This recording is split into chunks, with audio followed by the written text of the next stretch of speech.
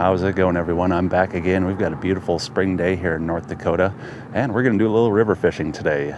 This river is more known for walleye and catfish, as you can see the big catfish statue back there behind me.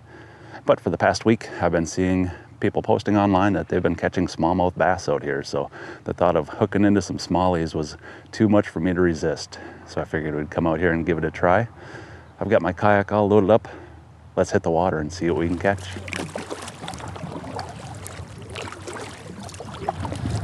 Away we go. So there's a few different spots out here that really look appealing to me.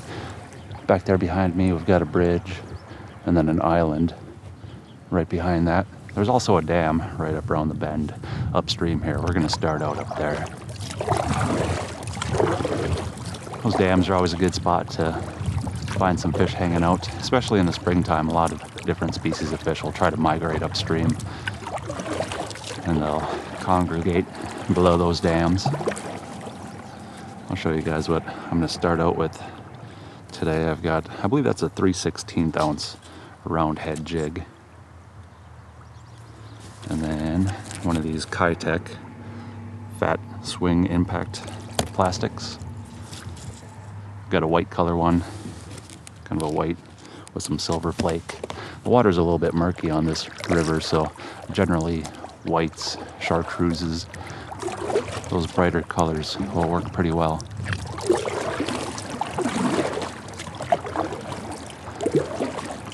That's usually what I'll throw out here too, just a jig and plastic like that. There's lots of snags, so I don't want to throw anything too expensive because I do plan on losing a few of those out here today to sticks and rocks on the bottom. Plus, just about anything will bite on that jig and plastic setup. Whether it's a swim bait style like these or a, a twisty tail. You can catch just about any kind of fish on them.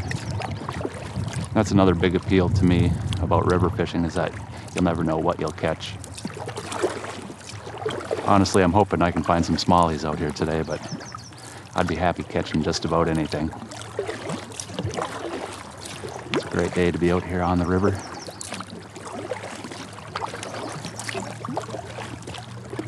Let's see if we can catch some fish.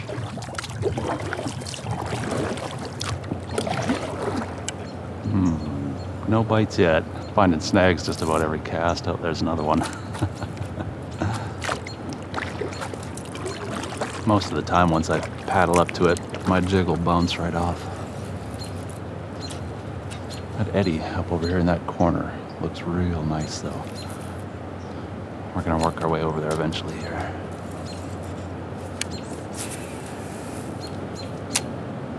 Right off of the tip of that tree. Maybe we can lure a fish out of there. Or just find a snag. yeah, that's probably what'll happen.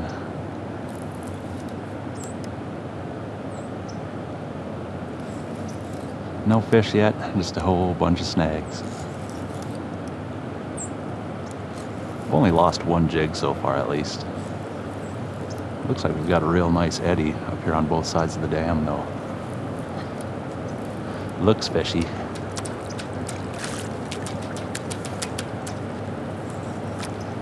I just need to get my jig back. I think it's stuck on a branch sticking off this tree here maybe.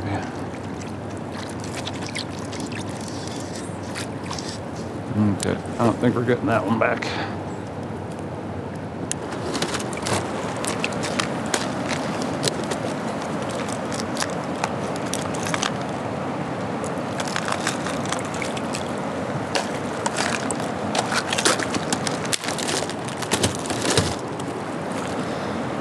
No fish yet, and the river has claimed three of my jigs so far.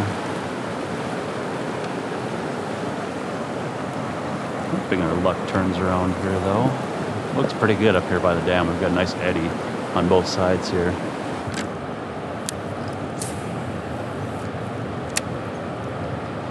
We'll give this side a try. The current was whipping pretty good over there on that other side.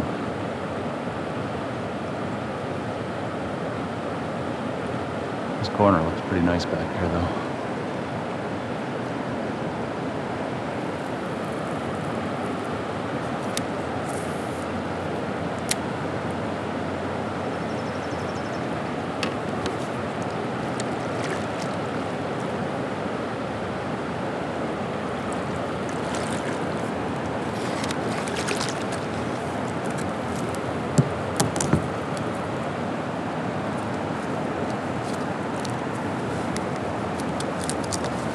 we go. Let's see if that tree branch will hold us still for a little bit.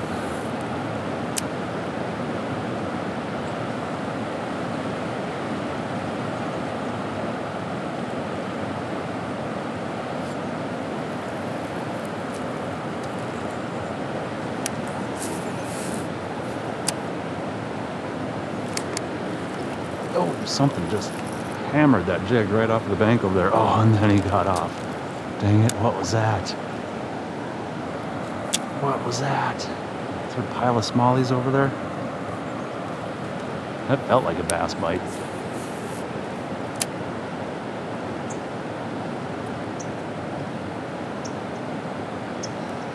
Oh.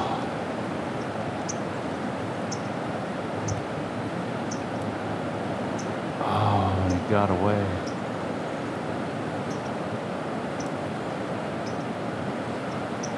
Darn it. No, hey, it's a sign of life at least. Been up here about a half an hour now. That was the first bite I had, but I've gone through about half my pack of Keitechs to river snags. I just moved over to this side though. I was fishing that other side over there. The current is a little bit much over there, so I don't know. Maybe the fish like it over here where it's a little bit more mild. Oh, I'm bummed. That one just hammered it pretty much as soon as it hit the water over there. It felt like a smallie bite for sure. Either that or a pike.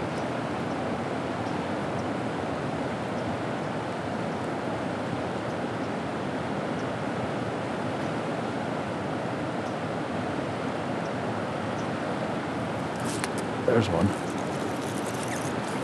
Yeah, it's a bass. It's a smallie. Just a little one, but come here, you. Oh, yeah, we're on the board. Well, it only took about a half hour and half my pack of Keitechs to find one. nice little smallie. Good to see they're in here.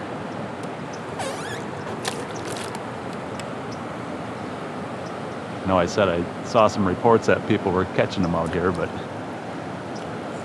sometimes I don't believe it until I catch one myself. Now I believe it.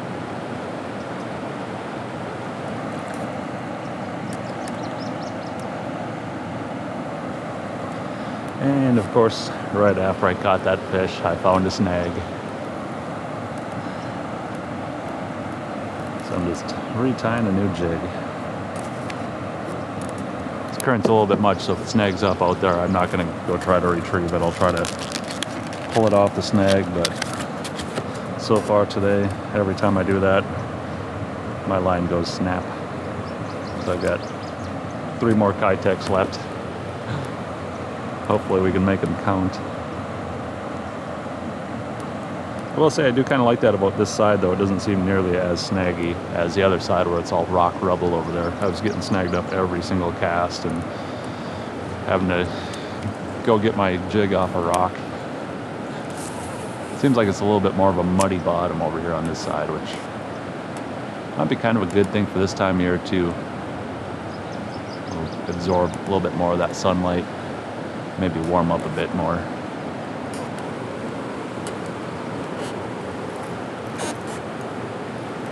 Right, I got something else on here. I was just swapping batteries in my GoPro. So I didn't get the hook set on them, but threw my jig right up along the bank over there again. Hey, that's a little bit better, Smallie.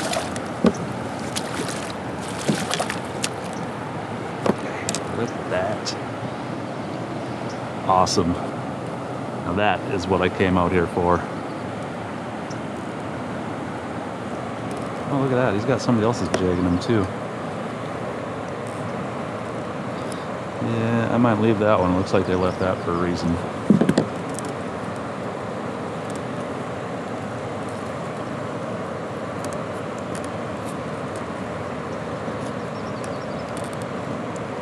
Might see if I can't do surgery on him here real quick, get that other jig out of him. There we go. I got that other jig out of him. I'm sure he'll feel a lot better now.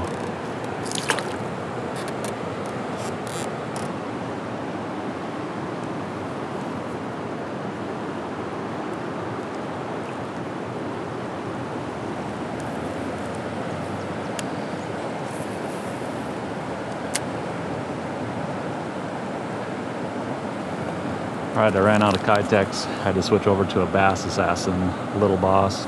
Silver Ghost color, pretty much identical to what I've been throwing.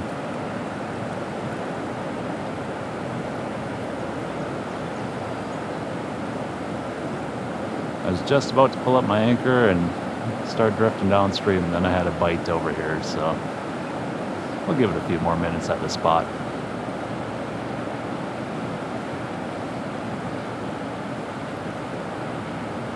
Then we'll probably float downstream. I don't know, like three of the five bites I've had over here were, I'd say, within three feet of the bank. So we'll probably just drift downstream and toss my jig at the shoreline as we go. Maybe work our way down to that bridge or the island. There's a couple of creeks that flow in maybe two miles downstream that look awesome on Google Maps. I just, I, I don't know if I want to float down that far and have to paddle back.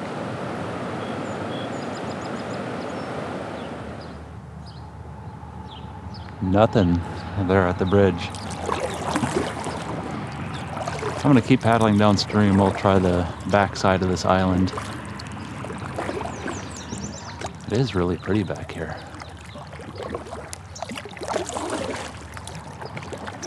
I'm tempted to keep floating downstream. It's gonna be a long paddle back, but there's a couple of creeks that flow in a couple miles downstream and on other rivers I fish smallies on in the springtime.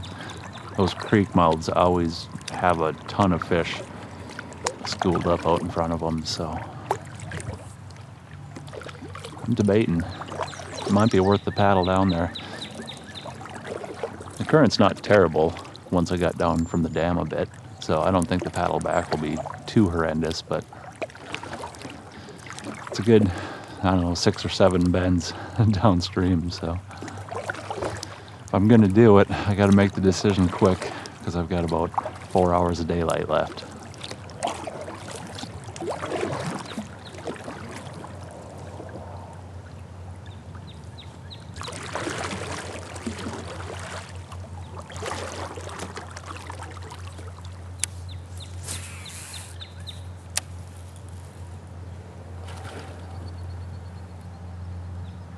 To disturb you, Mr. Ducky. Not much of an eddy back here behind this island.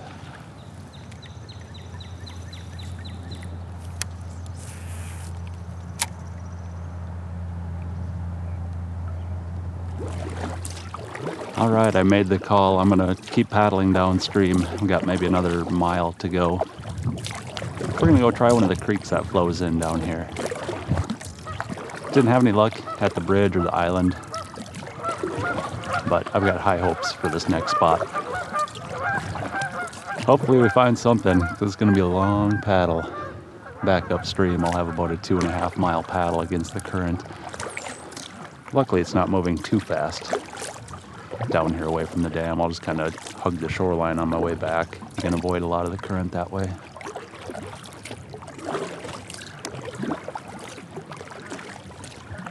But hopefully this spot will give up some fish and it'll be worth the long paddle down here.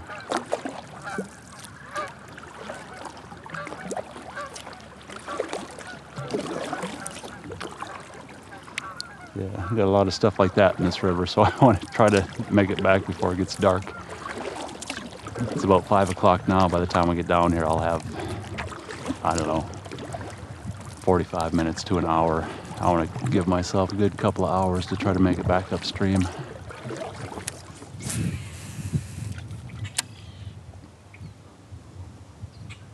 All right, we're coming up on our spot here. Fingers crossed there's some fish hanging out in front of this creek. Looks real good in here. Oh, that's not what I need to do think I caught my power pole with my jig there. Oh yeah, this looks real nice.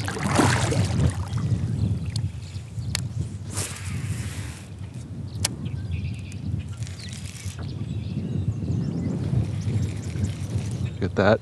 That jig was in the water for about a half a second. Yeah, I think this is going to be worth the paddle down here.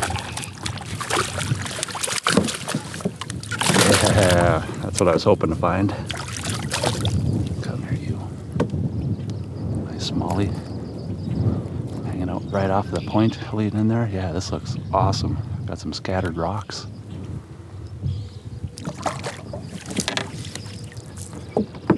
Well, it took about 35 minutes to float down here with the current, so I'm gonna leave myself a good hour and a half to make the paddle back.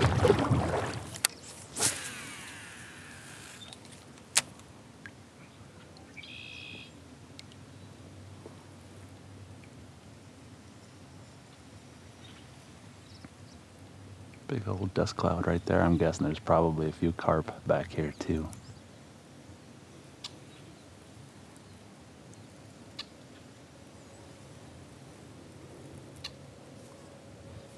I did paddle into that creek a little bit. It gets pretty shallow in there though. The water does seem a little bit warmer where it's coming out.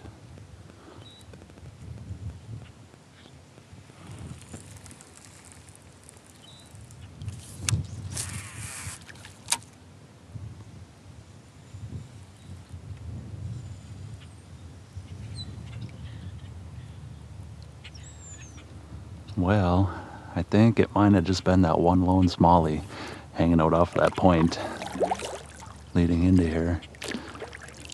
Really got my hopes up when I caught that one on the first cast at this spot. Figured we were about to hammer them, but I've been fishing my way around in here for about a half hour now and nothing else. So I think I'm gonna start paddling my way back upstream. I got a good hour and a half paddle in front of me to get back up to where I started from. So we'll see if we have enough time when we get back there to paddle back up to the dam and give another try. I might do that. At least we found one there. Didn't get skunked at that spot.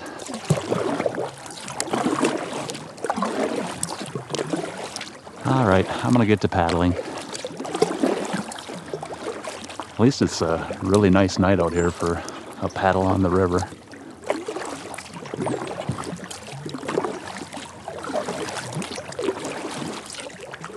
So right now I'm just paddling my way back upstream. I wanted to show you guys real quick how I do that. I kind of hug the one side of the river. You can avoid a lot of the current by doing that rather than trying to paddle out in the middle where it's moving pretty quick. Just got to keep an eye out for sticks and logs. I almost got myself stuck on one log already.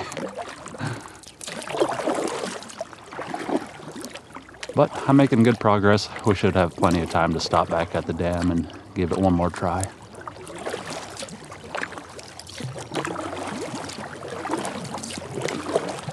Well, I've almost made it back to my truck. You can see the bridge right up there. The boat launch is just on the other side of that.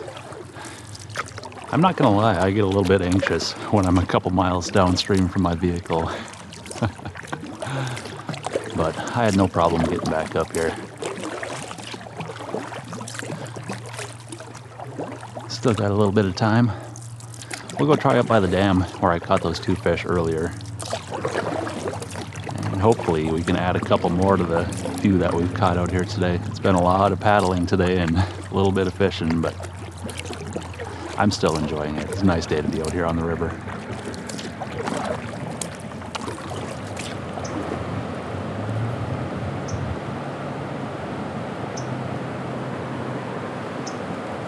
What I'm really surprised is that I haven't found any pike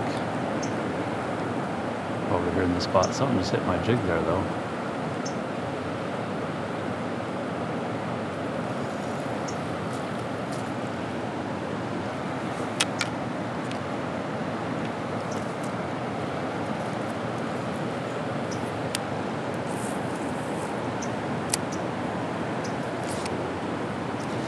There's one. Right off the bank over there. Love it when you toss the jig in just the right spot like that and instantly it gets thumped. Come on up here, little buddy. Just a little guy, but hey, I will take it.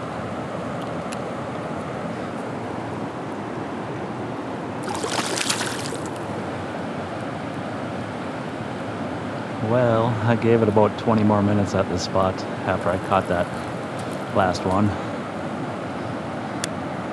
Nothing else. So I think I'm going to call it a day. Paddle back downstream to my truck.